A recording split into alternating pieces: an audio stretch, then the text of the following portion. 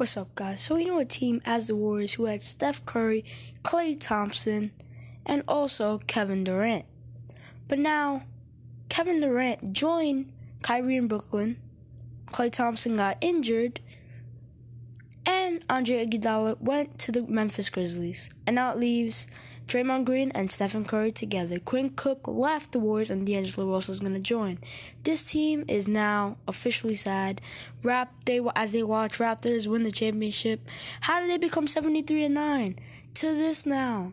They